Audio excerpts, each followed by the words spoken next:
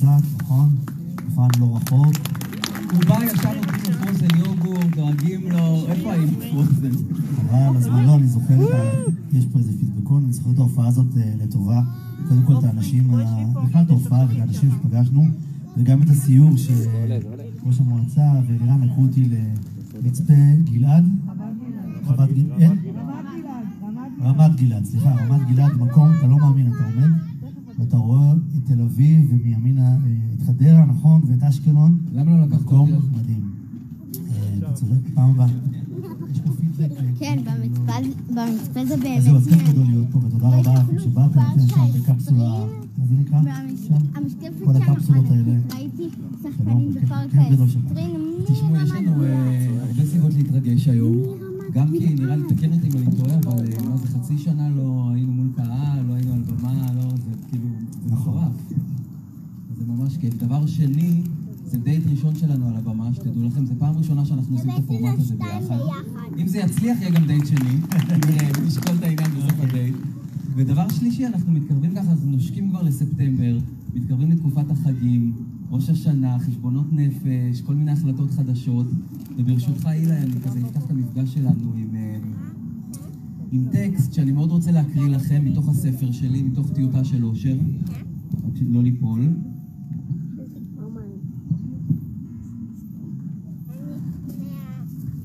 וזה טקסט שנקרא פחות קשה, והוא סוג של אה, ממש שיר תפילה כזה לשנה החדשה, וזה הולך ככה.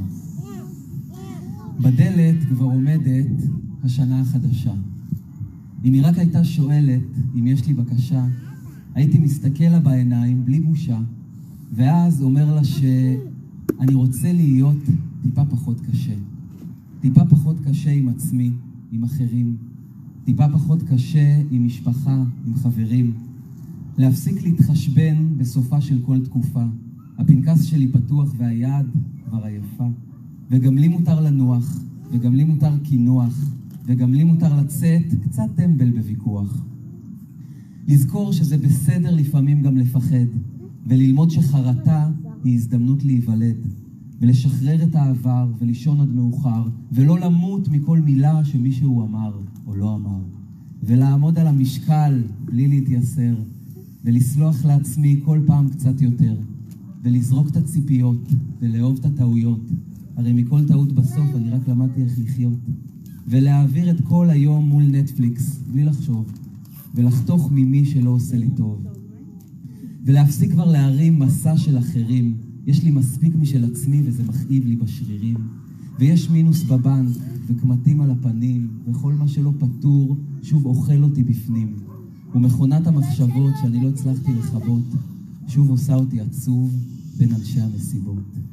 בדלת כבר עומדת השנה החדשה, והנה היא שואלת אם יש לי בקשה.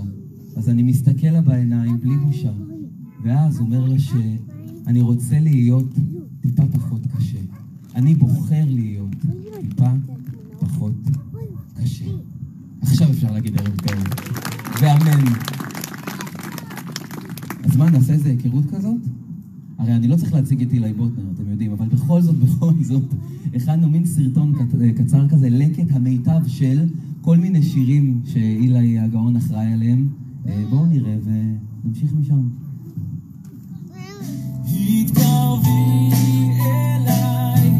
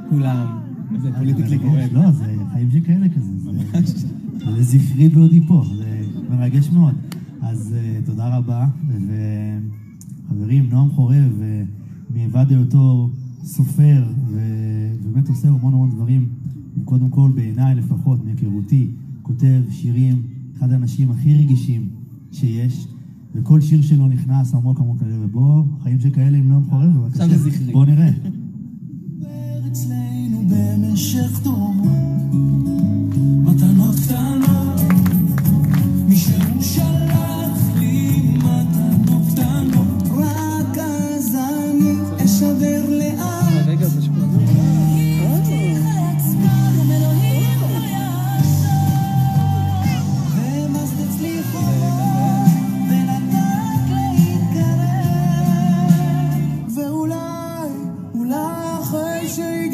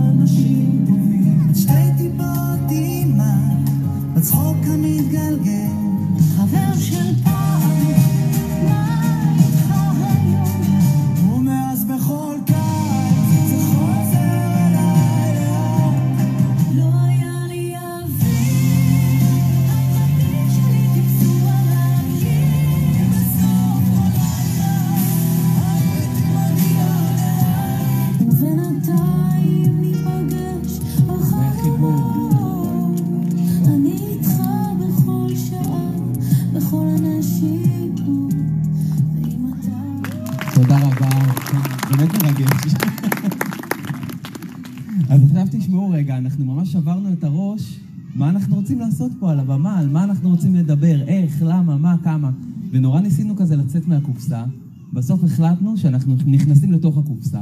אז מה שהולך לקרות זה ככה, ממש פעולה בצופים אנחנו עושים. יש כאן קופסה על השולחן, אה, יש כאן צופים. יש לנו עובד או לא? לא, סליחה, רק בדקתי. אז יש כאן קופסה, ומה שקורה זה שבתוך הקופסה יש מלא מלא כרטיסיות עם שאלות, שאת חלקן אני כתבתי ואת חלקן אילי כתב.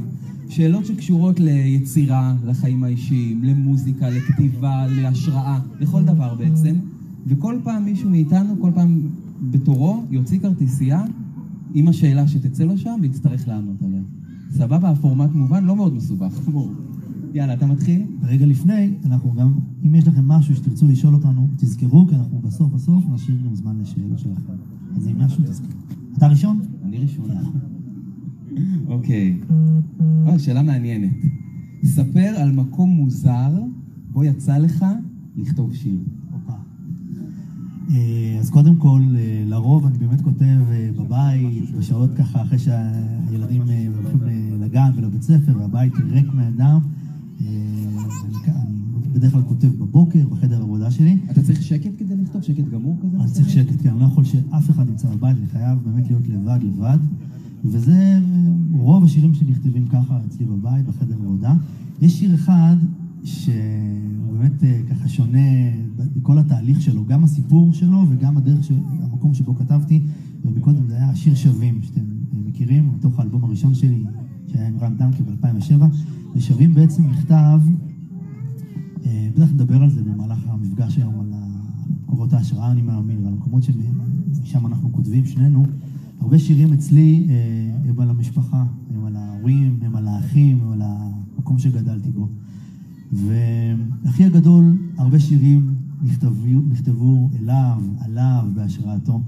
שווים אה, הוא אחד מהם, ואני זוכר שלקחתי אוטובוס יום אחד, באותם ימים התחלתי, אה, עברתי רק אה, לדירה, אה, למי שלימים תהיה אשתי עם שירי.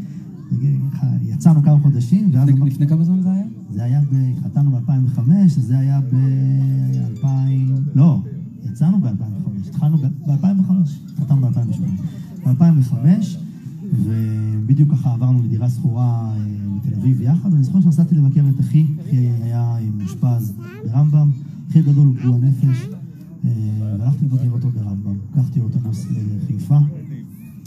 והשיחה בינינו הייתה על הדברים הכי פשוטים של היומיום, מה אתה עושה ומה אני עושה, ועל החלומות והשאיפות. בדיוק סיפרתי לו שיש לי חברה, ועברנו לגור יחד, וככה אני, ככה במוזיקה קצת אני מנגן אומנים, עוד לא כתבתי אז שירים, הייתי בעיקר ליוויתי אומנים, עברי לידר וגלי עטרי וריקי גל ועוד, וככה סיפרתי לו, ושאלתי אותו, ומה איתך? ואז הוא מספר שהוא מחכה שיום יעבור ויגיע ויחלוף ויעבור עוד יום, והוא מחכה שיהיה לו מספיק כסף ללכת לקיוסק, לקנות סיגריות, או למצוא איזושהי אהבה כשהוא יצא מבית חולים, דברים שא' שוברי לב, וב' אה, הפער הנורא גדול בין החיים שלי לבין החיים שלו פתאום נגלה לנגד עיניי. ואני זוכר שסיימתי את הביקור עם אבן מאוד מאוד גדולה שישבה לי על הלב, ובתחנת אוטובוס בעתלית, שחיכיתי לאוטובוס שיקח אותי לתל אביב, כתבתי בפלאפון, אתה לבן, אני שחור, אני חשוך, אתה באור, שמחמם כמו אימא, אימא שלנו, ושדואג לך, על הפערים הגדולים בין, ה, בין החיים שלו לבין החיים שלי, ומה אני הייתי רוצה שיהיה ומה הוא היה רוצה שיהיה. אני תמיד מספר שלימים השיר הזה אה, נלמד בבתי ספר במסגרת האחר הוא אני, ויש אה, אנשים שיש לו ריקוד עם, ואנשים שאפילו הולכים איתו לחופה, אלוהים ישמור מה וזה, אבל יש באמת את כל הקשת הזאת.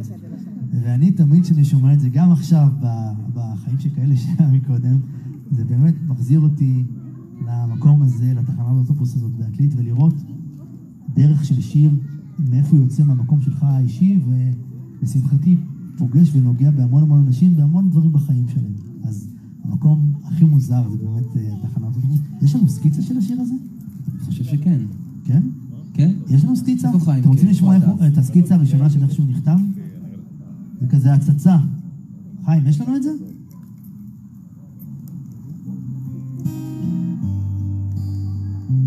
זה הפעם הראשונה. בבית, בחדר, שאף אחד לא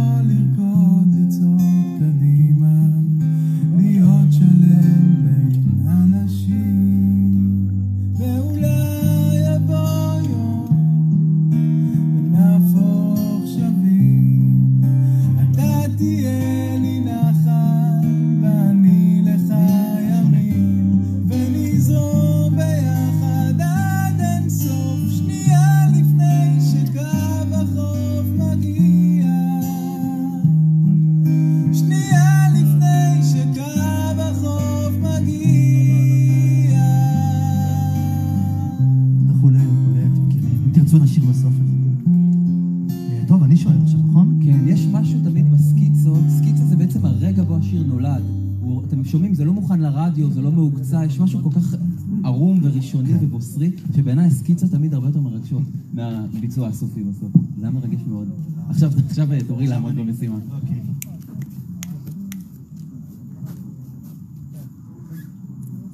או, ספר על אירוע מכונן או מעצב מהילדות שלך. אוקיי. האמת ש, שזה סיפור מוזר, כי יש לי איזשהו זיכרון ילדות, זה אפילו לא זיכרון, כי אני לא באמת זוכר את זה, כי הייתי מאוד מאוד קטן, אבל זה משהו שסיפרו לי, איזושהי חוויית ילדות שסיפרו לי עליה, והיא באמת, אה, אני מרגיש שהיא השפיעה עליי המון. אני לא יודע אם אתה מכיר את הסיפור, אני ברשותכם עומד, כי אם לא, אני עומד להתרסק כל שנייה, כן? אז אה. אני לא, לא בטוח שאתה מכיר בכלל את הסיפור הזה, אבל אה, אני נולדתי לפני 36 שנה בבית חולים העמק בעפולה, ותודה רבה. ותשמעו, אין דרך עדינה להגיד את זה, אני נולדתי כמו אבי ביטר קטן, הייתי חמישה קילו, בלי ניתוח קיסרי. זה, אימא שלי עד היום לא התאוששה מהלידה. היא עיראקית, נולד לה תינוק קובה. הייתי נראה כמו ילד בכיתה ד' כשנולדתי, אתם לא מבינים משהו מלחיץ. ובגלל שהייתי כל כך ענק, אה, עשו לידת ואקום, והלידה ממש הסתבכה והיו המון דרמות, וביציאה החוצה, בגלל שהופעל המון לחץ, יד ימין שלי נתקעה, והגיד נקרע, ובתום הלידה הרופאים ניגשו להורים שלי ואמרו להם, תקשיבו, יש לנו חדשות טובות וחדשות קצת פחות טובות. החדשות הטובות הן שהתינוק שרד את הלידה והוא חי ונושם.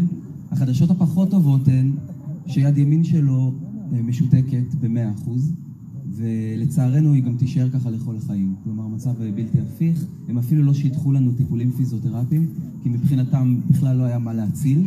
והם אמרו להורים שלי, תקשיבו, זה לא סוף העולם, אתם תלמדו איך לחיות עם ילד שיש לו מגבלה, שיש לו נכות, אנשים חיים עם זה.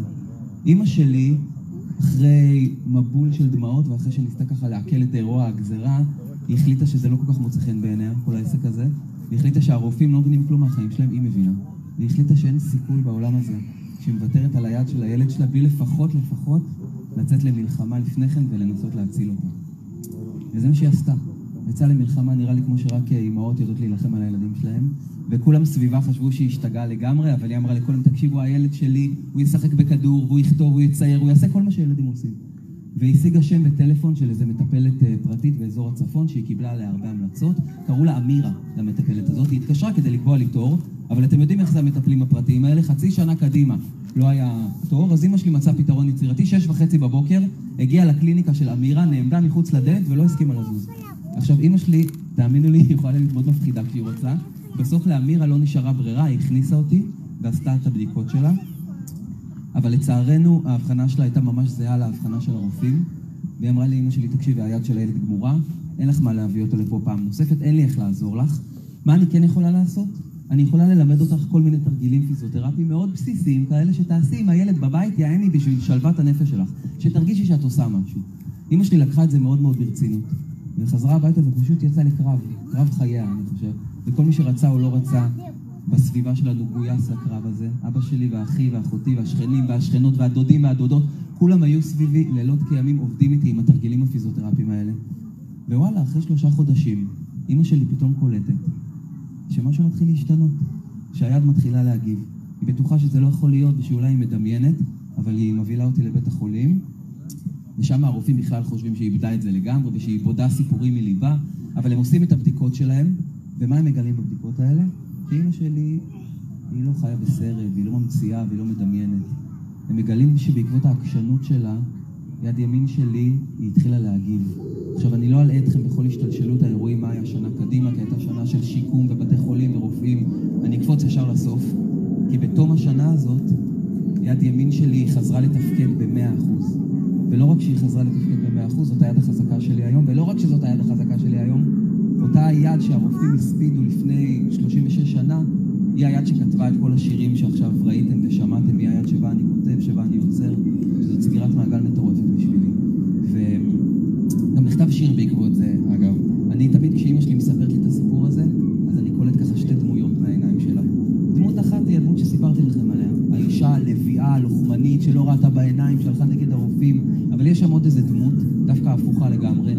דמות האישה הפגיעה, השבירה, זאת שנסדקת בקלות. ושתי הדמויות האלה, למרות שהן מאוד שונות, הן חיות בתוך אימא שלי באיזו הרמוניה מאוד מאוד יפה. התבגרתי, אני שמתי לב שאנחנו כולנו בסוף נושאים בתוכנו את שתי הדמויות האלה. כאילו גם כשאתם פוגשים בן אדם שהוא נראה לכם סופר יציב וחזק ועם מלא ביטחון, אם אתם מסתכלים מספיק עמוק, תמיד תמיד אתם תגלו גם סדקים של חוסר ביטחון ומקומות פגיעים ושבירים. ומתוך השיר הזה אני כתבתי את אישה חרסינה, שזה שיר שמירי מסיקה מבצעת, ואני, תמיד כשאני שומע אותו אני חושב על אימא שלי כמובן. וגם אני רוצה להשמיע לכם את הסקיצה המקורית, כי אז אני שלחתי את הטקסט הזה להלחנה לשני מוזיקאים אנונימיים, אף אחד לא הכיר אותם, קוראים להם גיא ויעל, הם היו אז בתחילת הדרך, היום הם מוזיקאים, מפורסמים ומוצלחים, אה, ובואו נשמע את אה, גיא ויעל שרים בסקיצה את אישה חרסינה.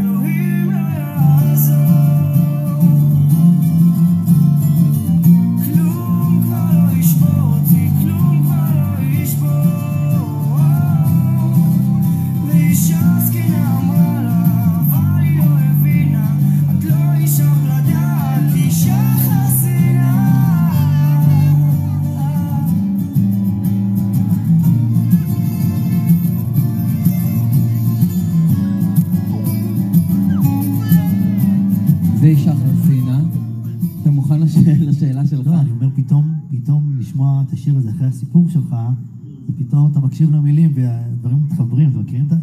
זה... קטע, תמיד כשמספרים את הסיפור מאחורי השיר, פתאום הטקסט הוא נטען בעוד משמעות, נכון. פתאום אתה מגלה בו כל מיני אתה רבדים. אם לא הייתי מכיר, אם לא הייתי שומע את זה, הייתי... זה אני חושב שאצל כולם פה, נכון, ההרגשה הזאת. מדהים, סיפור מדהים. אז אני גם רוצה להגיד לכם סקופ, שיש גם אה, קלפים שהם קל- קלף משימה. אז אנחנו גם הולכים לעבוד פה פה קשה, זה לא רק שאלות, שתדעו לכם, לא עשינו לעצמנו חיים קלים. אוקיי, וואו, זאת שאלה קשוחה. מה השיר הכי אישי שלך? הוא. טוב, אה, יש לי, אה, רוב השירים שלי הם שירים אישיים. אה, ובאמת, באמת בכולם יש איזשהו גרעין מאוד של סיפור שבאמת קרה, מבוסס על סיפור אמיתי, מה שנקרא, עם גרעין חזק מאוד של אמת. אבל אני חושב ש... אני חושב שמכתב לאחי, גם אולי בגלל ההצלחה שלו וגם באמת הסיפור שמסתתר מאחוריו, אולי השיר האישי, אני אספר לכם, אגב, מכתב לאחי אה, זה צמד מילים שלא מופיע בשיר, זה רק השם שלו, כי אני כתבתי את השיר הזה כמכתב לאח שלי הגדול. אה, יום אחד אני מקבל ממנו טלפון והוא מספר לי ש... אה, חי בהוסטל בחדרה, הוא סיפר לי שהוא הוא אוהב ללכת ולראות כל מיני חלונות ראווה של מכוניות. להיכנס, לראות מכוניות חדשות. אוהב את זה. הוא סיפר לי שהוא נכנס לאחת מסוכניות הרכב, והפקידה ככה הרימה את הראש מהזה והסתכלה עליו ואמרה לו, סליחה, אנשים כמוך לא רצויים פה, בבקשה תצא. הוא אמר, אבל אני רק אה, מסתכל על המכוניות, אני לא עושה שום דבר, אבל אני מצטערת, אני מבקש ממך לעזוב את המקום. ואז התקשר וסיפר לי את הסיפור הזה. ועוצמת הפגיעה שלי, ושמעתי בקול שלו את ה... כמה הוא נעלב וכמה הוא הושפל. וישבתי וכתבתי לו את השיר הזה, שזה בעצם שיר אה, העצמה, שיר נחמה, שיר, אה, שיר עידוד, וכל ה, המשפטים ממנו אה, מיועדים בשביל לעודד אותו. מצב רוחו, אל תפחד, תשאף לדעת, אל תדאג, עוד תקיים, מי שבידו לגעת, יש בליבו עוד לנחם. אל תפחד, שנים יבואו, ועונות שנה תחלוף, ועונות שנה תחלוף, אתה תראה שעוד נגיע, וזה הרגע, הנה באה השעה, מה תביא איתך וכולי. אה, ויש סיבות לכל דבר, יש חלום שלא נגמר, ובסוף הדרך הוא תהיה מאושר. יש לנו את העניין שכל אחד סוחב בבטן ומעט שעליהם רואים. זאת אומרת, לכל אחד מאיתנו יש משהו שאנחנו נושאים. על חלק רואים, למשל, על אח שלי ועל חבריו, ויש כאלה שלא רואים. אה, וגם, זה אלבום, זה שיר שהוקלט באלבום השני שלי ב-2010. מבצע אותו קובי אפללו, שאגב, ממש ברגעים אלה-. תכף יכול להיות שאם ממש נקשיב טוב, נשמע את זה לא רחוק מפה.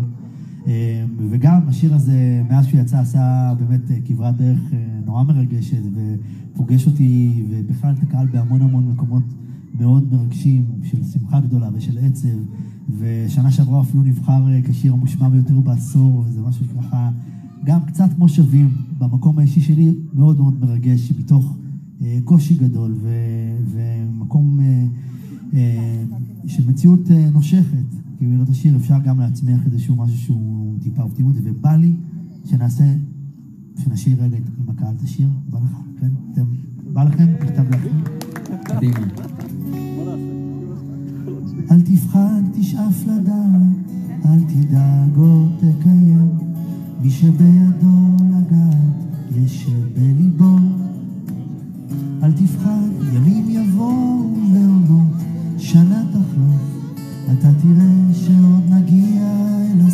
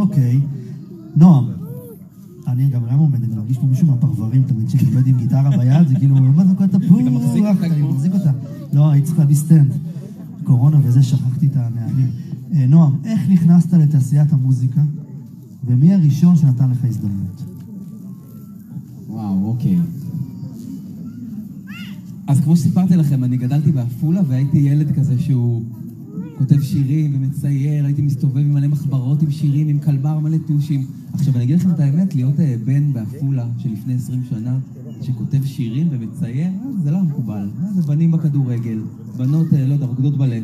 ואני הייתי הילד המוזר שנשאר בהפסקות וכותב שירים במחברות. אף אחד לא ידע איך לאכול אותי, אף אחד לא... לא דיברתי את השפה, הייתי ממש אאוטסיידר, הייתי ילד כזה מוזר, ואני ממש אה, החלטתי עם עצמי שברגע שתהיה לי את ההזדמנות, אז אני ככה פורס כנפיים, ואני מתעופף ל- מעבר להרי עפולה, לבדוק מה קורה בעולם שמעבר, וזה מה שעשיתי בגיל 23, אני עברתי מעפולה לתל אביב, ואני רוצה להגיד לכם, אני עברתי ממש כמו בקלישאות כזה, עם כסף בכיס ותיק, וניצוץ בעיניים, מה זה ניצוץ נאיבי של ילד? שאני הולך לכתוב שירים לכל הזמרים במדינה. אני הייתי אומר לחברים ולמשפחה, חכו תראו, הזמרים בישראל, הם יעמדו אצלי בתור כדי לקבל שיר. והתגובות כמובן תמיד היו אותן תגובות, אתה יודע. בסדר, הוא עוד ילד, מה זה השטויות האלה לכתוב שירים? זה לא פרנסה, זה לא עבודה, תכף הוא יקבל את הכאפה, תכף הוא יתפכח. והשנה הראשונה בתל אביב הייתה באמת מאוד מאוד קשה, שכרתי איזה דירת חירבה כזאת בדיזינגוף, התחלתי למלצר, וניסיתי לחשוב איך אני גורם עכשיו לזמרים לקרוא את השירים שלי, את הטקסטים שלי, ולהתאהב בהם ולרצות לשיר אותם. איך אני מגיע עכשיו למשה פרץ, או לעברי לידר, או לאילי בוטנר, שאולי ירצה להלחין שיר שלי, איך אני מגיע? עכשיו, בטח החבר'ה הצעירים שיושבים פה, זהו, אני זקן רשמית, אמרתי חבר'ה צעירים. החבר'ה הצעירים שיושבים פה אומרים, מה הבעיה? אינסטגרם. מה, נתן גושן באינסטגרם, ועדן בן זקן בסטורי כל היום, שלח להם הודעות, תעשה להם לייקים, דבר איתם. קשה לדמיין עולם לפני עשר שנים שבו, אני רוצה לבשר לכם, לא היה אינסטגרם, נשבע לכם. היה פייסבוק, היה בחיתולים, האומנים היו מאוד מאוד לא נגישים. אי אפשר לדבר איתם ככה בזה, אי אפשר לפנות אליהם, הם ישבו באיזה, באולימפוס. אז תקשיבו מה עשיתי, אני מצאתי פתרון ממש יצירתי. אני, היה לנו כזה בית דפוס קטן למטה בדיזינגוף, ירדתי לשם, הדפסתי 200 חוברות עם כל השירים שכתבתי כל החיים. עשיתי כזה, כרכתי את זה בספירלה כזה, העליתי את כל ה-200 חוברות לחדר שלי בדיזינגוף, תדמייני, היה לי קיר כזה, ועשיתי כמו מגדל גבוה עם כל החוברות של השירים, והייתה לי תוכנית. והתוכנית הייתה שאני הולך להתרוצץ בין הופעות של כל הזמרים במדינה, עם החוברת הזאת. אני אכנס להופעה, אני אשיר, אני ארקוד, איזה כיף. בסוף ההופעה אני אצא החוצה, אני אמתין מחוץ לאולם עם המחברת, עד שהזמר יצא. הרי בסוף הוא יוצא, הוא צריך לחזור הביתה בסוף, נכון? וכשהוא יצא, אני ארוץ אליו עם החוברת, אני אדחוף לו אותה לידיים, ואז הוא יקרא את השירים שלי, הוא יתאהב בהם, הוא ירצה לשיר אותם, ואני אהיה כותב מצליח. מה הבעיה? התוכנית הייתה מאוד ברורה. אני יודע שזה נשמע שלא הייתי אפוי במאה אחוז, וזה גם קצת נכון, אבל זה הדרך שמצאתי. ותשמעו, אני, אני התרוצצתי בין הופעות באמת של הזמרים הכי גדולים במדינה, כאילו אז ריטה ורמי ועברי ושרית חדד, ודרך הופעות של זמרים אנונימיים שניגנו מול שני אנשים באיזה בית קפה נידח בתל אביב, ואני הייתי מאוד דבק בתוכנית שלי. הייתי עומד בחוץ ומחכה, אם היה צריך לחכות עשר דקות, הייתי מחכה חצי שעה, הייתי מחכה שעה, גשם, שמש, מחכה. אם אתם זוכרים, אגב, בדיוק בדיוק כמו שאימא שלי חיכתה, בשש וחצי בבוקר, מחוץ לקליניקה של המטפלת הזאת, אמירה, כדי שתכניס אותה. אני למדתי מאימא שלי לחכות בסבלנות עד שמכניסים אותי. רק שאלוהים ישמור, אני לא ידעתי שאני אצטרך כל כך הרבה סבלנות. שנה שלמה, שנה ומשהו, אני מתרוצץ בין ההופעות, ואין דרך עדינה להגיד את זה, אף אחד לא שם עליי. כלום, אפס טלפונים, פידבקים, תגובות, שום, שום דבר. כאילו כלום. ותשמעו, זה קשה, זה, יש הרבה רגעים של שבירה, ושאתה מתחיל להפסיק להאמין בעצמך, אבל אז אחרי שנה ומשהו הטלפון שלי צלצל, ומי היה על הקו? רוצים לנחש? לא רמי, אבל ממש דומה לרמי האמת. לא, הלוואי והילה, הילה לא שם עליי. ריטה, ריטה על הקו. אני הייתי בטוח שעובדים עליי, כי קודם כל, למה שריטה תתקשר אליי? ודבר שני, בחיים לא שמעתי בן אדם כל כך דרמטי בטלפון, נשבע לכם. אמרתי, זה חיקוי, אין מצב, מי מדבר ככה? ואז היא אמרה לי, תקשיב, אני קיבלתי את החוברת עם השירים שאתה דחפת לי לידיים בסוף ההופעה. איזה שירים יפים, מה זה, בן כמה אתה, איפה התחבאת עד היום? אנחנו חייבים להיפגש, לעבוד על שירים. ואז היא קבעה איתי פגישה, האמת שזה היה מה זה מוזר, היא- קבעה איתי פגישה אצלה בבית באחת בלילה. אמרתי, וואו, וואו, שהיא לא בונה עליי משהו, אני לא זה. ולא סתם, היא הייתה אחרי הופעה, וזה זמן טוב, זה אדרנלין. והגעתי אליה הביתה, ואני נכנס, אנחנו עושים היכרות, ואז מתחילה הש- השתלשלות אירועים סוריאליסטית, באמת. כי נכנסנו אליה לסלון, ועל הספה אצלה בסלון יושב עם גיטרה שמעון בוסקילה, האדון בוסקילה. ואנחנו עושים היכרות, והיא לקחה את החוברת עם השירים שנתתי לה בסוף ההופעה, היא תלשה את כל השירים, והיא פיזרה על השטיח, שיהיה אפשר לראות את הכל. ואז אנחנו מקשקשים עוד קצת, ובאיזשהו שלב אני יושב על הספה שלה, מצד שמאל שלי, שמעון בוסקילה שר ומנגן את ה... הוא הלחין את השירים, שר ומנגן את השירים שלי, בחיים לא שמעתי אף אחד שר את השירים שלי עד אותו שלב. לרגליי, כמו אוקיינוס של מילים, כל מה שכתבתי כל החיים, מפוזר על השטיח דפים דפים. מצד ימין שלי יושבת ריטה, אני מכיר אותה חמש דקות, אבל היא כבר שמה עליי ראש ומלטפת אותי ושרה עם שמעון, כי ככה זה ריטה, אתה יודע. וזה היה רגע באמת בלתי נשכח, ברגע שאני... זה היה הכל שווה, זה היה שווה את ההתרוצצויות והחוברות והריבים עם ההורים, זה היה שווה הכל. ובעקבות זה דווקא, יש שיר שאני רוצה דווקא להקריא, ולא אה, לא להשמיע.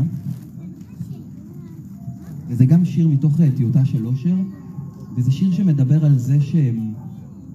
שזה יפה שיש לנו חלומות, אבל אנחנו כנראה נצטרך לעבוד מאוד מאוד קשה בשבילם כדי להגשים אותם. וקוראים לזה להזיע. זה לא מספיק לחלום, צריך גם להזיע. מי שלא צועד בחום, אף פעם לא יגיע. הזהב בסוף נופל על מי שעוד נלחם, שלא פוחד ללכלך את הידיים בפחם. אני פגשתי אנשים שחיכו למזל, שוויתרו על האושר וקראו לזה גורל. שננעלו בביתם, הגיפו את התריסים, ישבו רגל על רגל וקיוו לניסים. ופגשתי אנשים שגם בחורף הנורא רדפו אחרי השמש, לא השאירו לה ברירה. שפתחו את הכספת בלי שנתנו להם את הקוד. שלא היו להם רגליים, אבל הצליחו לרקוד. ואבא שלי אמר, לחלומות צפוף בכיס. מי שרוצה לזכות בלוטו, שיקנה קודם כרטיס. הדרך היא קשה, אבל לומדים להיזהר. וכל קיצור, הרי בסוף רק יעריך אותה יותר. ועוד תמצא סדקים של אור בחושך הפגיע. אבל זה לא מספיק לחלום, צריך גם להזיע. ככה זה הולך. מוכן? תשמע, זה מדהים. נועם אמר בהתחלה, זו פעם ראשונה, אז אני גם שומע פעם ראשונה את כל הסיפורים האלה, והם מדהימים, ואני רוצה להגיד לכם משהו קטן. קודם כל, הסיפור הזה מדהים. אבל נועם-. רק שתבינו, אני. תמיד מסתכל על הדברים הקטנים, ומהם משליך על הגדול יותר. הוא כל כך יסודי וכל כך רציני, אפילו כרטיסיות הוא עשה עם ה... כמו שהוא הדפיס את החוברות עם הסלילים, אז גם כאן הוא הלך והדפיס את זה ועשה את זה בצבעים האלה, והכל פה מתוכנן ומסודר ו... ועם הקפדה, וזה... יש שיגידו יסודי, יש שיגידו חולה נפש. לא, אחד אני אגיד לך למה, למה אני אומר את זה, כי הרבה פעמים שואלים אותי, מה, איך עושים את זה, ואיך מגיעים, ואיך מגיעים לנגן, ואיך מגיעים לכתוב, וכולי וכולי. וזה נורא, אני נורא מתחבר לכל מה שאמרת פה, על הדרך הזאת, וגם כשאתה כבר מגיע, לא, לא לעזוב את זה, להמשיך, להמשיך, להמשיך, זה מדהים. זה מסע שאף פעם לא נגמר. בדיוק, מדהים. עכשיו, אתה מוכן? אתה שואל אותי עכשיו? אני שואל אותך. אוקיי, ספר לי על שיתוף פעולה מוזיקלי משמעותי. או- וואו, אתה יש לך מלא, מה זה? זהו, אז אני. אה, אז אני, קודם כל, הקריירה שלי כולה היא בעצם שיתוף, שיתוף פעולה אחד אה, גדול. זו הקריירה שלי מתחילת הדרך. אה, זה התחיל, אה, אה, בהתחלה כת- כתבתי קצת שירים אה, לני נט וקצת גם ריטה, ובעצם האלבום הראשון שלי היה אלבום עם רן דנקר. לאחר מכן היה לי אלבום עם המון המון זמרים ששרו את השירים. האלבום השלישי שלי היה בעצם הרכב, ובשנתיים וחצי האחרונות אני גם עושה קצת דברים שהם מחוץ להרכב, ותמיד תמיד בשיתופי פעולה. אם אני צריך לשים, תראה, כל, כל שיתוף פעולה אה, משאיר חותם והוא חלק מהקריירה ומהדרך שאתה עושה. אני חייב, אני, אם אני צריך לבחור משהו שהוא באמת אה, משנה דרך, לפחות עבורי, שוב, כל חיבור הוא עבורי משנה דרך, אבל באמת הקמת ההרכב, אה, אילי בוטנר וילדי החוץ, הייתה, הייתה איזושהי אבן דרך עבורי, גם ברמה המקצועית וגם ברמה האישית. בעצם הרכב שהגיע אחרי האלבום השני שלי. אלבום שהיו בו אה, את מכתב לאחי ששרנו מקודם, והיה בו את אה, ימים של קיץ, וכל זיכרון חוזר של ריטה, ולמרגלותיך ועוד שירים. זה אלבום שהושמע ופורגן מאוד בתחנות הרדיו, אבל זה אלבום שלא הופיע. הוא בעצם הופיע פעם אחת אה, בהשקת האלבום. היה. אני- למה? כי היה קשה לעשות את כל הזמרים? כן, ריטה וקובי וכולם זה זמרים עם קריירות עצמאיות משלהם, ולא יכפיפו את עצמם לקריירה של אילי. אז באמת הייתה הופעה אחת לאלבום הזה, במסגרת איזשהו פסטיבל, ובעצם באותה תקופה, אחרי האלבום הזה, אה, ישבתי בבית. אה, אני רגיל להופיע עוד בסוג ההופעות עם רן, שהיה לפני זה, ועוד לפני רן, עם אומנים, ובאמת לא רגיל להיות בבית, רגיל אה, להתרוצץ על במות ולנגן ולהופיע. ומצאתי את עצמי יושב בבית. אשתי בדיוק נכנסה להיריון, וככה עלו לי, עלו לי המון המון שאלות, גם אה, מקצועיות, אבל בעיקר אה, שאלות אישיות. זאת אומרת, אה, מה עושים עכשיו, ומי ישיר, ומה אני עושה. ובעצם תהליך הליהוק והשיתוף הפעולה אצלי מתחיל מתחילת הדרך, מהאלבום עם רן, ב-2007, דרך האלבום שהגיע אחריו, ובעצם עד היום. ואני זוכר שקיבלתי החלטה שאני צריך, שאני חייב, להקים לי הרכב שירוץ איתי, שיעשה איתי את הדרך. ואמרתי, אוקיי, כתבתי קצת שירים לנינט, וקצת שירים לריטה, וקצת שירים פה וזה, ויש לי גם שירים שכתבתי לרן, ושירים לקובי. אוקיי, אני צריך זמר, אני צריך זמרת. והתחלתי אה, להיפגש עם המון זמרים ועם המון זמרות. בסופו של דבר אה, בחרתי בהדר גולד ובועד שרגאי, ונתתי להם את השם אילי בוטנר וילדי החוץ. למה ילדי החוץ? אני מגיע מקיבוץ, וילדי החוץ זה איזשהו מונח קיבוצי. זה גם זמן לסקופ, אני חושב, לא? זה הזמן? זה, יאללה, לא? תן את זה. אז אילי גדל בקיבוץ עין כרמל, וסבתא שלי, מצד אבא שלי, אמא של אבא שלי, היא גם במקור מקיבוץ עין כרמל, וגילינו פתאום ששנינו גדלנו באותו קיבוץ. אז כבר יש לנו משהו משותף עם מהילדות. ועוד דבר, לסבתא שלי לא היו בכלל חברים וחברות בקיבוץ, חוץ מסבתא של נועם, שהיא הייתה החברה שלה. סבתא שלי הייתה הקולי- הקולית של. הקיבוץ, היא הייתה כאילו לא, החברמנית כן. של הקיבוץ. אז זה קרה. אה, אז באמת החיבור עם ילדי החוץ באמת אה, פתח אה, איזשהו פתח, ואני חייב להודות שבתחילת הדרך לא ידעתי איך זה יתקבל, לא ידעתי איך הקהל יקבל את זה, ואיך הקהל פתאום ישמע שירים כמו אני אש, או בואי נעזוב, או מכתב לאחי, או היא יודעת, בקולות שהוא לא מכיר. ואמרתי, בשביל לא להיכנס להרפתקה כלכלית יותר מדי, אמרתי, בוא נקליט ארבעה שירים. נראה מה יהיה, מקסימום זה לא יתקבל, אז לא, ההפסד הכלכלי הוא לא מאוד גדול, ונמשיך לחפש. אני זוכר, השירים שהקלטנו זה היה נהר, שזה שיר שאף אחד לא מכיר. באמת, אני שר אותו דרך אגב. אתה ראית גם לפי התגובה, אף אחד, באמת שיר שאף אחד לא מכיר, זה מדהים. והיה את רץ אלייך, אתם מכירים? זה היה הסינגל הראשון. זה הסינגל הראשון. קדימה הלאה, מכירים?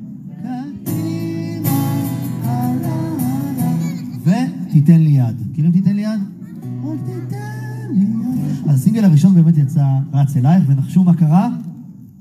כלום. באמת? לא? לא, זה לא הצליח.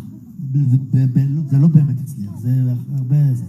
והתחילו שאלות וזה וזה וזה, ואז יצא תיתן לי יד. זה היה בעצם הסינגל השני, ואז הכל נפתח והתקבל בזה. אני חושב שיש לנו סקיצה של תיתן לי יד, יש? רוצים לשמוע איך הוא נכתב? בוא נשמע רגע חתיכה קטנה מתיתן לי יד. מי שר בסקיצה? נראה לי שאני. אתה? כן. לא לצחוק. פתיחה זו פתיחה, כן, יש זמן, אנחנו לא ממהרים. הנה זה בא.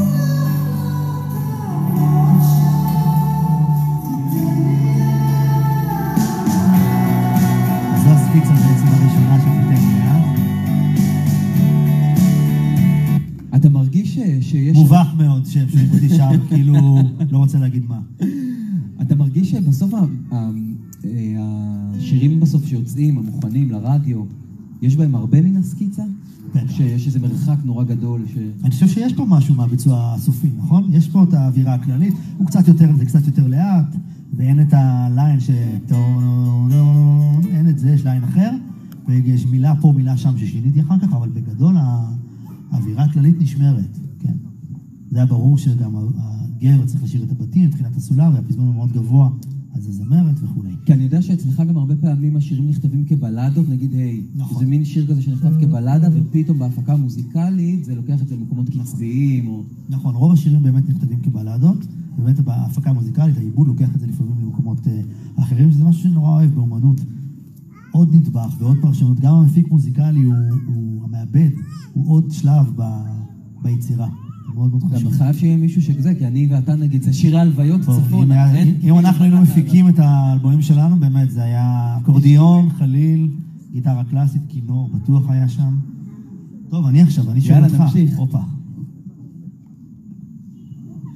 מה השיר הכי מוכר שלך ואיך הוא נכתב? אה, טוב, התשובה היא מאוד קלה. השיר הכי מוכר שכתבתי הוא מתנות קטנות. כן, מה לעשות? תודה. והאמת שזה סיפור מאוד מוזר, כי במקצוע הזה של כתיבת שירים, אתה יודע איך זה. אני תמיד אומר, זה... כשאתה כותב שיר ואתה משחרר אותו לאוויר העולם, זה כמו לשלוח אה, חבילה בדואר ישראל. אתה לא יודע בחיים למי זה יגיע, מתי זה יגיע, האם זה יגיע, אתה רק יכול להתפלל שזה יגיע. והשיר הזה, הוא כזה הפך, כמו שאתם יודעים, להיות מין המנון ישראלי כזה שמכירים בכל בית, צריך ללכוד אולי משהו בישראליות שלנו, אבל הוא בכלל לא נכתב בישראל. איפה הוא נכתב? בתאילנד. אני טסתי בגיל 30 למזרח לכמה חודשים עם חברים לנקות את הראש קצת, ואחרי חודשיים של טיול הגענו לריזורט כזה מהמם בתאילנד על החוף, לבית מלון כזה יפה. והיה יום שישי. עכשיו, אני לא יודע איך אתם, אני יש לי חולשה ליום שישי בארץ. באמת, בעיניי אין בשום מקום בעולם יום שישי כמו יום שישי בישראל. משהו בצבעים, או בדיוק, זה כזה, פתאום נהיה כזה. משהו בצבעים, בריחות, באנשים, באנרגיות, משהו משתנה. אבל שם בתאילנד, יום שישי הרגיש לי כמו, לא יודע, יום רביעי, או שלי, כי זה תאילנד, מה להם ולשישי ישראלי? וזה הפך אותי להיות חולה געגועים. זהו, כבר רציתי לחזור הביתה, חלאס, טיילתי חודשיים, די, התגעגעתי. אז אמרתי לעצמי שזה זמן טוב, עכשיו שאני מוצף ככה רגשית ומלא געגועים, לכ- לכתוב שיר. לקחתי את הלפטופ, את המחשב, ירדתי לחוף, היה כזה שעת בין ארבעים, ושם על החוף הייתה לי התפאורה המושלמת לכתיבת שיר, הייתה כזה שקיעה סגולה וגלים בטורקיז וחול לבן ועצי קוקוס, כאילו תאילנד, כמו גלויה.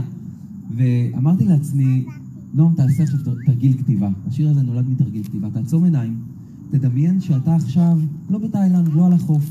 יום שישי בערב, אתה בבית של ההורים בעפולה, כזה כל הסלטים כבר על השולחן, כל הסירים על הגז, תכף כל החמולה מגיעה עם כל הרעש והבלגן והאחיינים, ופשוט הם, תנסה להשתמש במילים כמו במכחול ולצייר תמונה. רציתי שמי שישמע את השיר הזה ממש יוכל לראות בעיניו, להריח את הריח, לראות את הצבע. אז עצמתי עיניים ודמיינתי שאני בבית של ההורים שלי וכתבתי את מה שראיתי.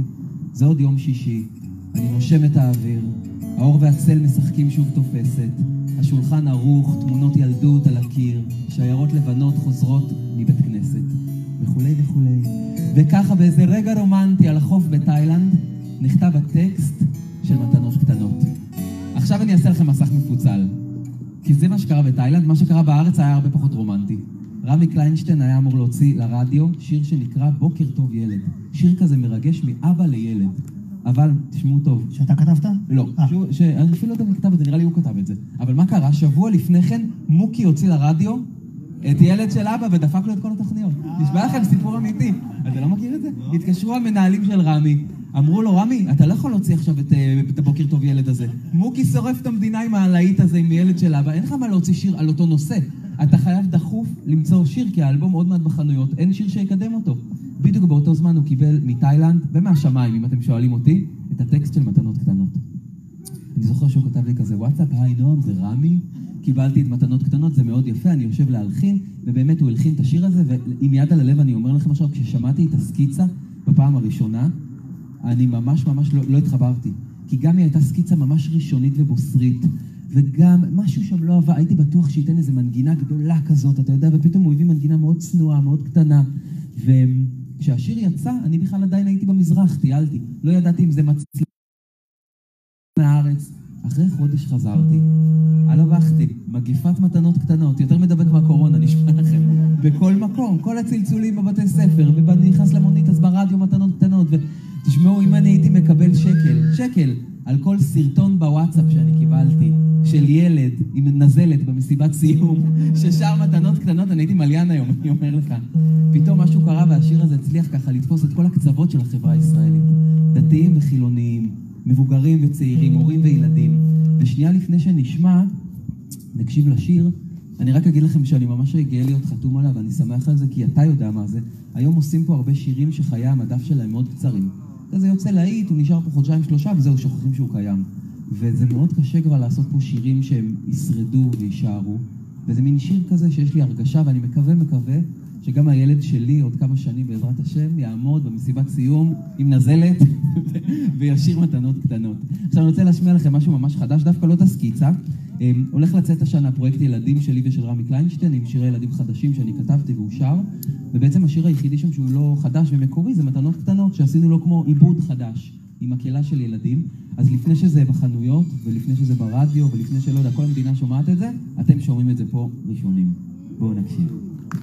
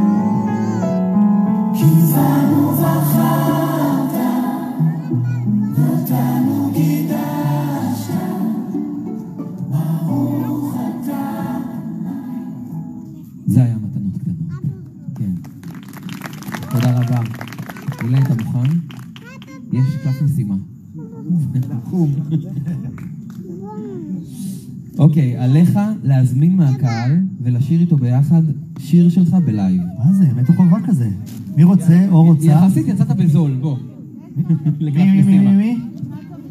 מהצופים? מי עוד? מי עוד? בואו, בואו נעשה, אני לא יכול... בואי. לא, לא, בואו ביחד, בואו מי ביחד. שרוצה שיבוא. בואו, אנחנו נעשה להקה. הבמה לא תתמוטט, לא תתמוטט. אנחנו נעשה פה. רגע, אבל רגע, אנחנו צריכים להחליט על איזה שיר. מה תרצו לשיר? אוקיי. איפה ירון, מנהל המרכז מוזיקה? הלשינו עליך. הוא אצל קובי אפללו. אה, אתה פה? ירון, בוא. בואו, בואו לפה, אל תתביישו, בואו, בואו. בואו, בואו, מי שרוצה לשיר. רגע, אבל מה נשיר? מה בא לכם לשיר? אני יש? מכירים אני יש? יאללה, אני יש. להוציא פלאפונים.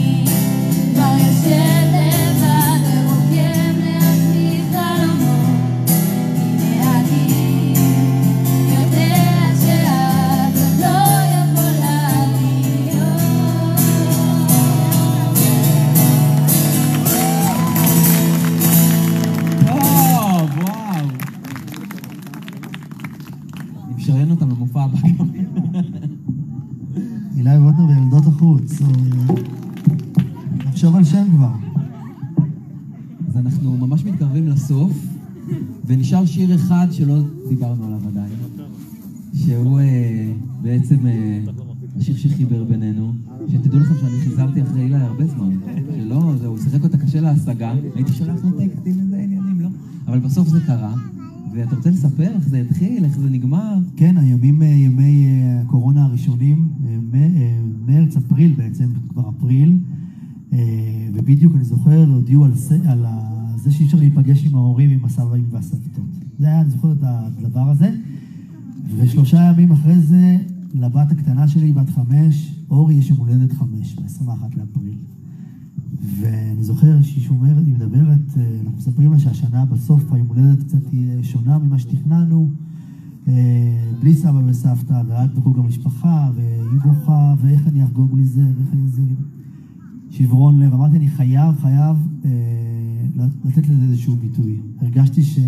אוי, זה הדבר הזה. אה, מתנות קטנות. זהו, הברחנו אותה.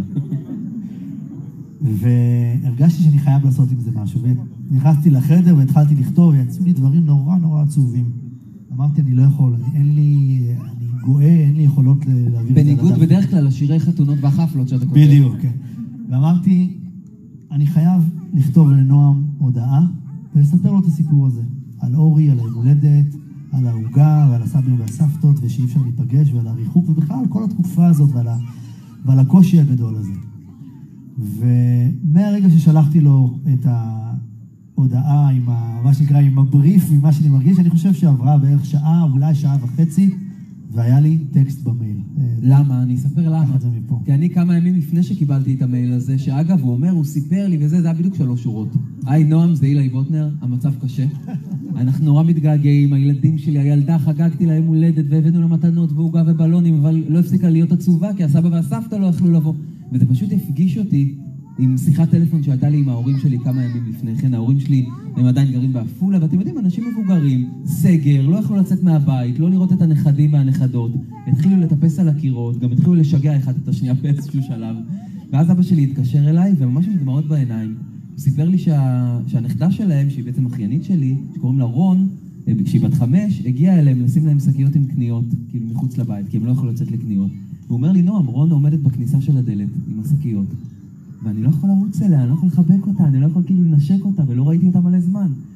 ואני ניתקתי את השיחה איתו, ואמרתי, וואו, איזה עולם משוגע, אנחנו, סבא וסבתא עומדים כמה מטרים מהנכדה שלהם, ולא יכולים אה, למעוך אותה מאהבה, לא יכולים לגשת אליה.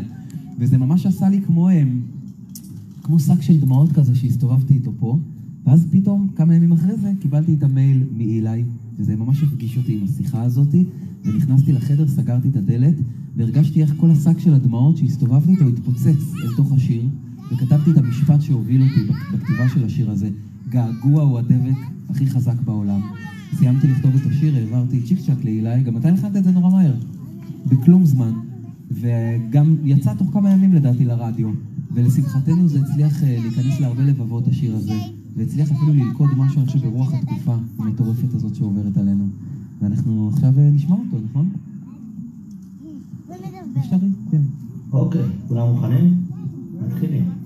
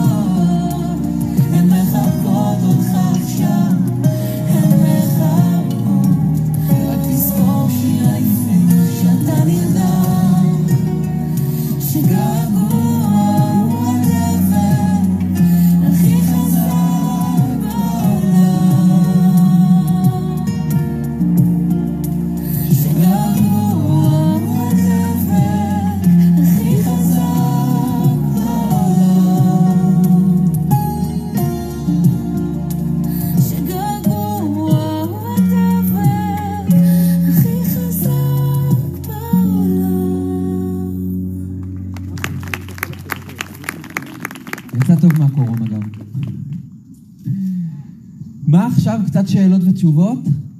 אם אתם רוצים לשאול כל דבר שקשור ליצירה, כתיבת שירים, מוזיקה, גם לחיים האישיים, אנחנו מוכנים לענות, אז תרגישו חופשי ובנוח, כן.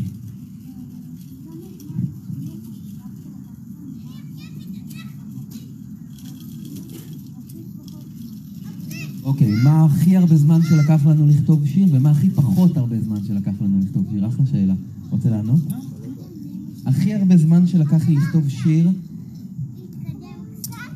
שיר זה, אתם יודעים, זה, זה תהליך, זה כמו צירי לידה, או כמו, אין תינוק שנולד נולד כמו תינוק אחר, כלומר כל תהליך לידה הוא שונה.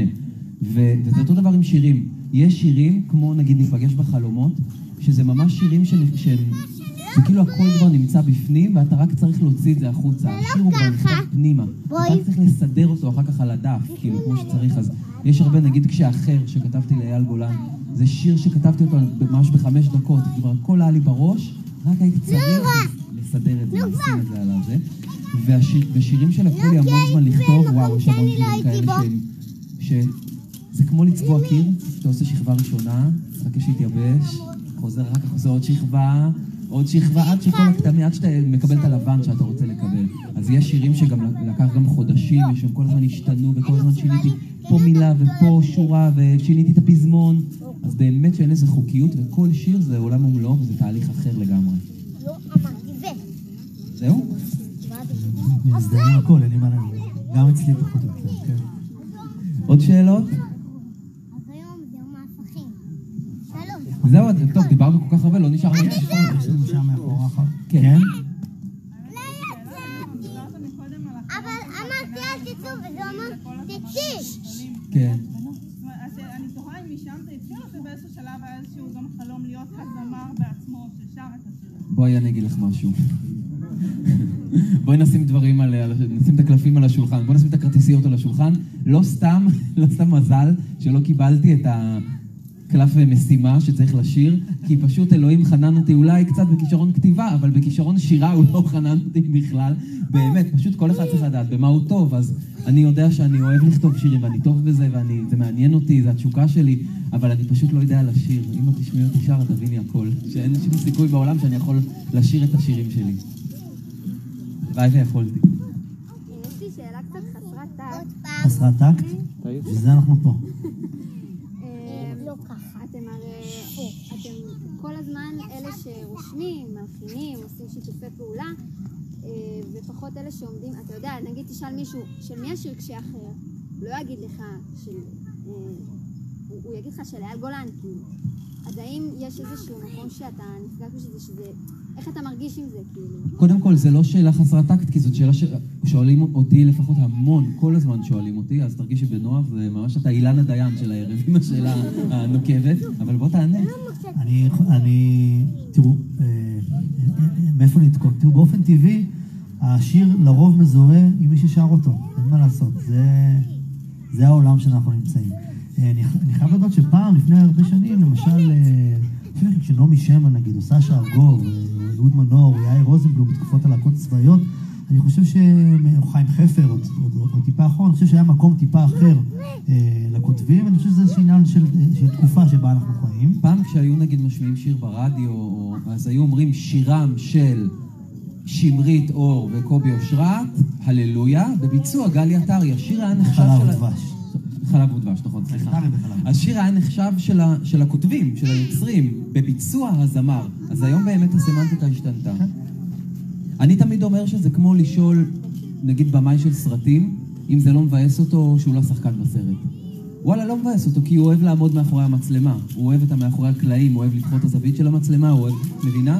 אז כשאני כותב שירים, זה שוב, זה מה שאני אוהב לעשות. אני, אני מבין שחלק מהעבודה היא באמת, רוב העבודה היא במאחורי הקלעים, היא בתהליכים שקורים לפני שהשיר יוצא. אמ, וגם אני עושה דברים, הרבה דברים אחרים, כמו הספרים נגיד, לציונה יש כנף אחת, או טיוטה של אושר, שזה, שהם דברים שאני מרגיש שהם יותר רק שלי. כי שם אין זמר, אין מלחין, זה באמת המאה אחוז הביטוי העצמי שלי. אז זה מקומות שאני כן מוצא שהם... אה, עוד שאלות? כן.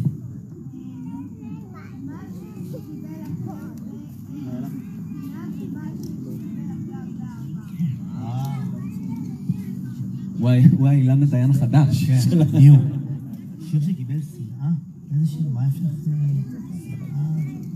אני חושב שגם, אני מרשה לעצמי לדבר בשם שנינו, אני חושב שאנחנו לא... אין לנו שירים ש... כאילו, אנחנו לא... אני מקווה לך, מקווה, כן. של שנאה, או כאילו רוצים אה, אהבה הרבה, וגעגועים, וזיכרונות ילדות, וכל מיני דברים כאלה. אה, אין לנו שירים פוליטיים, אני חושב. נכון? יש- יש לך איזה אז? לא, אז אני אגיד לך, זה מתחבר למה שאמרתי מקודם, כי כשאני כותב בספרים שלי, אז כן יש שירים שהם, לא יודע אם להגיד פוליטיים, אבל מתעסקים בנושאים חברתיים נגיד, או שירים שמעבירים איזושהי ביקורת, או שירים ש, שיש להם איזושהי אמירה שלפעמים אנשים שקוראים אותם יכולים להרים גבה. וזה בסדר, זה חלק מהאחריות שלנו ומהתפקיד שלנו כיוצרים וכאומנים, גם להעביר ביקורת ולא תמיד להיות אה, נחמדים ומלטפים. אבל דווקא בשירים שהם באמת שירי רדיו או זה, אז שם אני חושב שזה רק מוצף באהבה כל הזמן. ממש ככה. כן.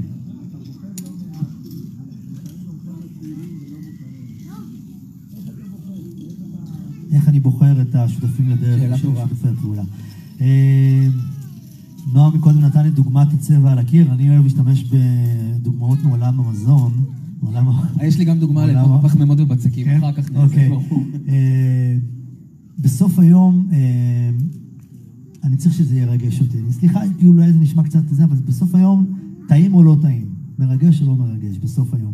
אז באמת לצד אה, אה, זמרים אה, מוכרים, בעלי שם, שאני משתף לאורך הדרך, אני גם תמיד דואג לקחת איתי גם חבר'ה שהם פחות ידועים ופחות מוכרים, וכן אה, לפתוח איזושהי דלת אם אני יכול. אה, זה נורא נורא חשוב.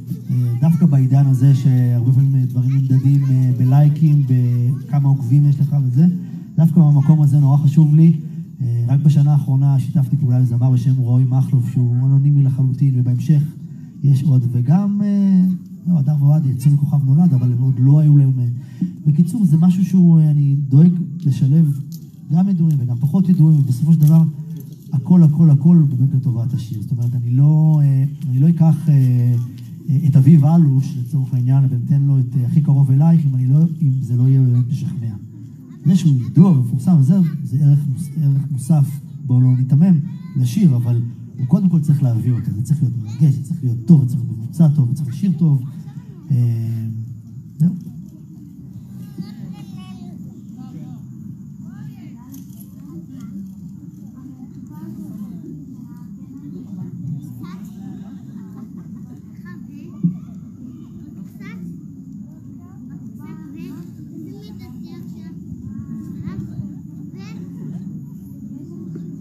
תקופת הקורונה את מתכוונת.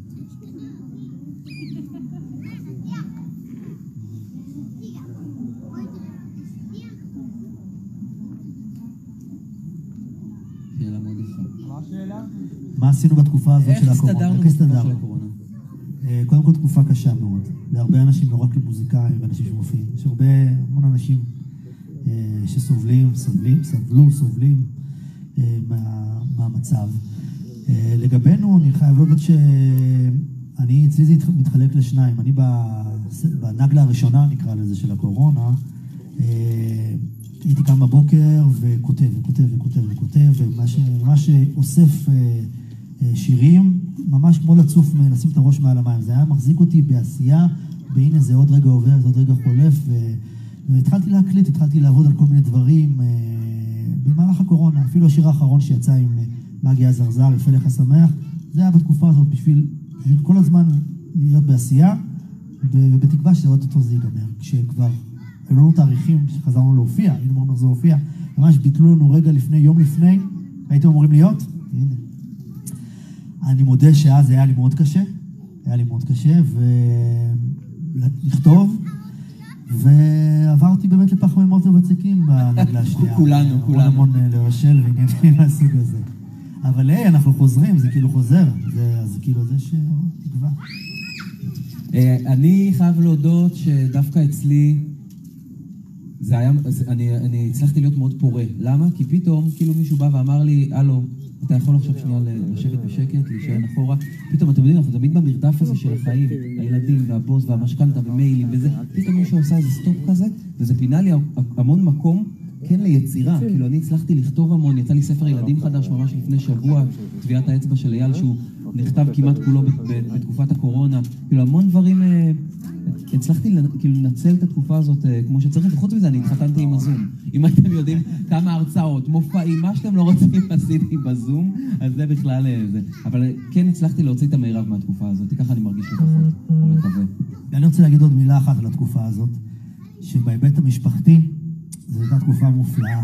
אני בימים רגילים, כשאני בהופעות וחוזר בלילות ויוצא מוקדם וכמעט לא רואה את הילדים, פתאום לבלות עם הילדים מהרגע שהם קמים ועד הערב, וכל הארוחות בין לבין, והפיצוצים, והרמיקופ, וכל הדברים האלה, וה- והמסכים, כן עם מסכים ולא עם מסכים, וזה וזה. יש משהו בתקופה הזאת, בהיבט המשפחתי, שהיא תקופה מדהימה ומרגשת, והלוואי שכל זה יחלוף, אה, שנדע אה, את זה לקחת מתקופת הקורונה, כי זה היה משהו ש... שאני, כאילו... זה היה- קטע, זה היה מאוד מרגש עבורי. כל החברים שלי שיש להם ילדים, אמרו לי שבתקופה הזאת הם פתאום הכירו את הילדים שלהם מחדש. כאילו פתאום בילו איתם ימים שלמים, פתאום, פתאום ראו איך הם בבוקר, איך הם בצהריים, איך הם בערב, כאילו ממש הצליחו לגלות מחדש את הילדים שלהם, להכיר אותם ממקום אחר, כאילו. אז אה, טוב, ולצד זה שבאמת יכולים באמת להיות בלתי נסבלים, אבל זה, אבל זה באמת רגע... אני מאמין לך. עוד שאלות אחרונות? כן. נו, חביבי. פעם הבאה לרכוש בזה, בקפסולה 6. צודק.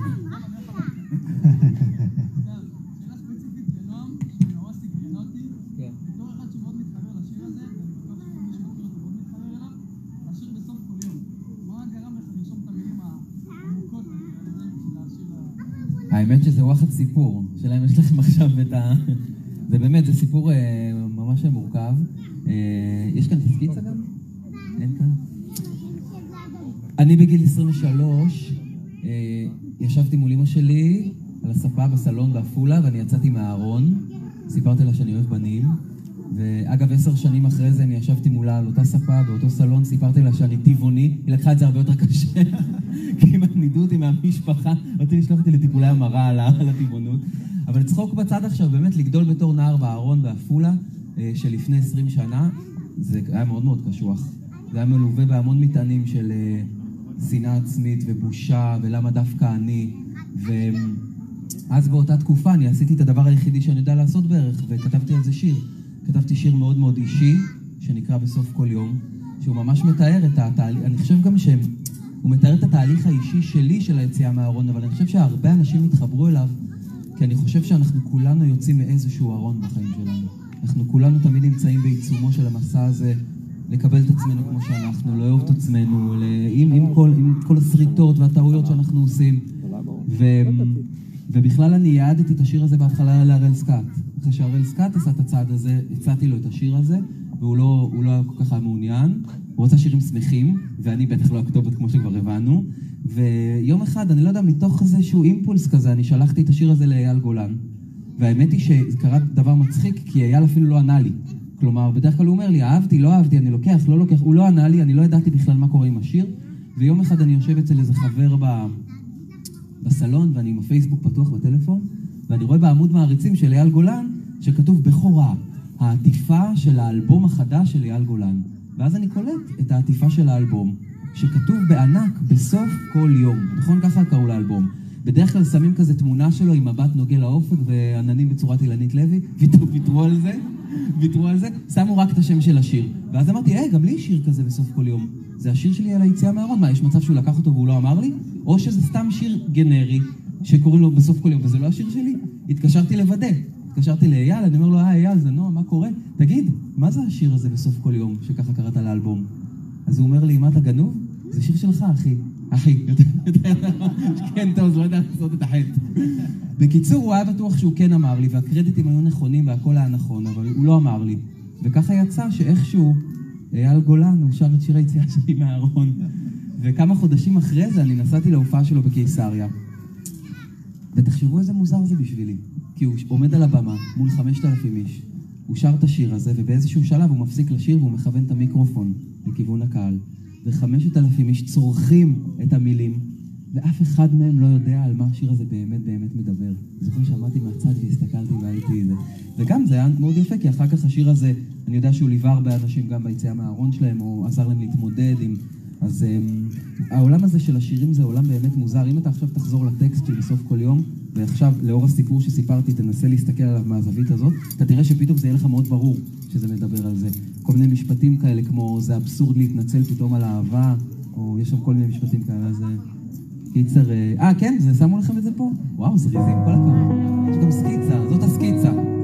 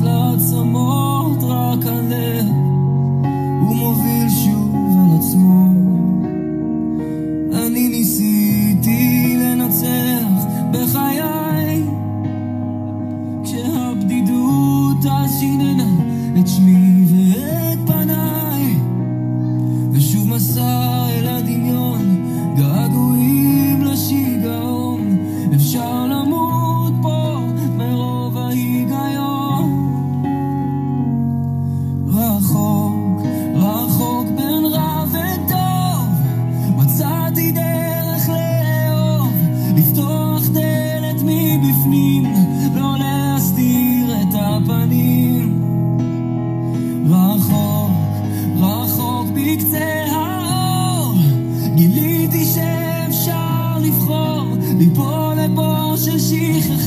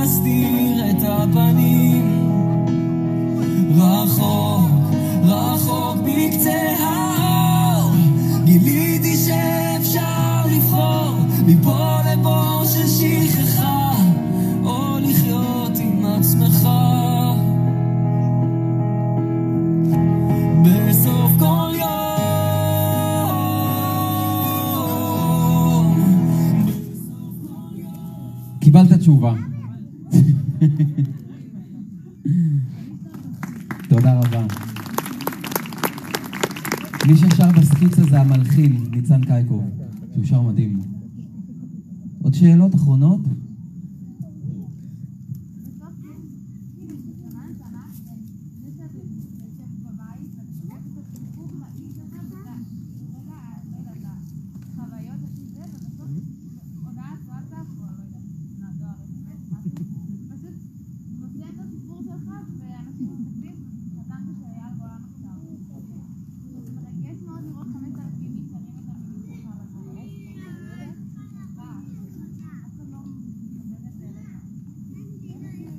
זה מיועד אליך.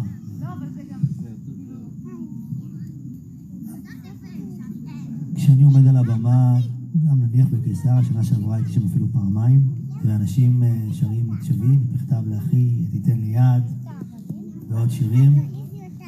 זה שירים שאני כתבתי, אה, הלחנתי, אחי שלי, אה, וכל אחד אה, רשאי ולקחת את זה לאיזה מקום בחייו, ולחשוב על מה שבא לו בזמן שהוא מאזין.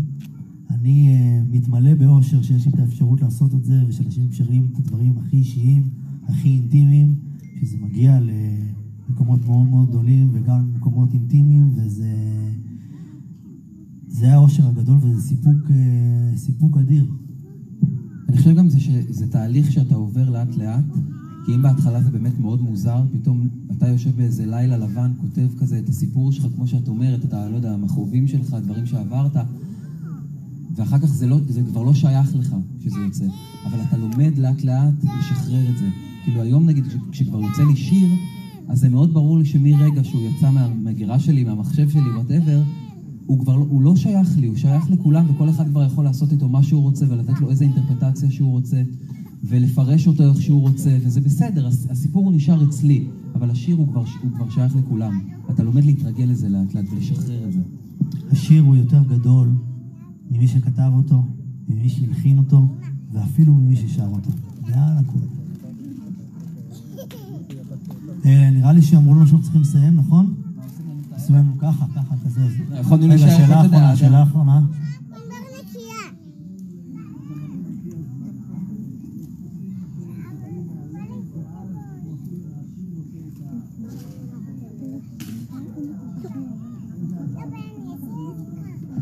אני, אני חושב שזה לא סותר, כלומר, אני חושב שאתה יכול גם לכתוב מהלב, וגם הרבה פעמים מתקשר אליי זמר ואומר לי, תשמע, נועם, יש לי איזה רעיון לשיר, אני לא יודע איך לכתוב אותו, אבל אני רוצה ש...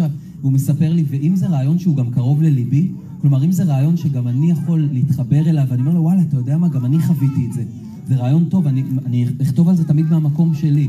אבל בטח ובטח, וזה באמת, אני אומר לכם מיד על הלב, אני אף פעם לא אוציא מה- מהמגירה, מהידיים שלי, מהמחשב שלי, משהו שאני לא מרגיש שאני שלם איתו, שהוא משקף איזושהי אמת בחיים שלי, שהוא מספר את הסיפור שלי, כי אחרת למה באנו? אתה יודע, אנחנו...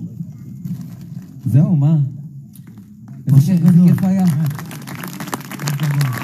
המון המון תודה לכם. עכשיו זה הכי מתבקש שאני אגיד את זה, אז ניפגש בחלומות. תודה רבה ולילה תודה רבה, טוב. לילה טוב.